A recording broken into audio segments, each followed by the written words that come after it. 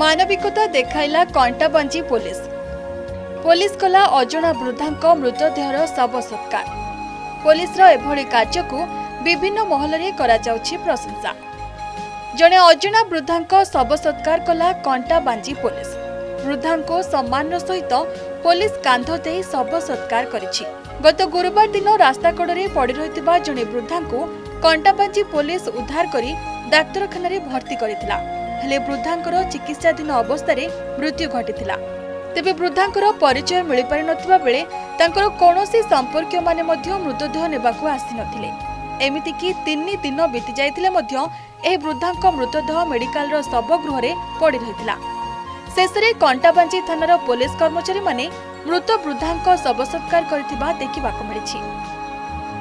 କଣ୍ଟାବାଞ୍ଜି ଥାନା SDPO Rishikesh Meher IIC Satyajit କ୍ୟାଣ୍ଡେଲକରଙ୍କ ସମେତ କଣ୍ଟାବାଞ୍ଜି ଥାନାର ପୋଲିସ କର୍ମଚାରୀମାନେ ଏହି ଶବ ସତ୍କାର କାର୍ଯ୍ୟକ୍ରମରେ ଯୋଗ ଦେଇଥିଲେ। ଅନ୍ୟପଟେ କଣ୍ଟାବାଞ୍ଜି ପୋଲିସର ଏଭଳି କାମକୁ ସ୍ଥାନୀୟ ବୁଦ୍ଧିଜୀବୀ ମହଲରେ ପ୍ରଶଂସା କରାଯାଇଛି। ବଲାଙ୍ଗୀର କଣ୍ଟାବାଞ୍ଜିରୁ ହୁଲେଶ୍ୱର ହଂସଙ୍କ ରିପୋର୍ଟ ଅର୍କସ୍ ନ୍ୟୁଜ୍।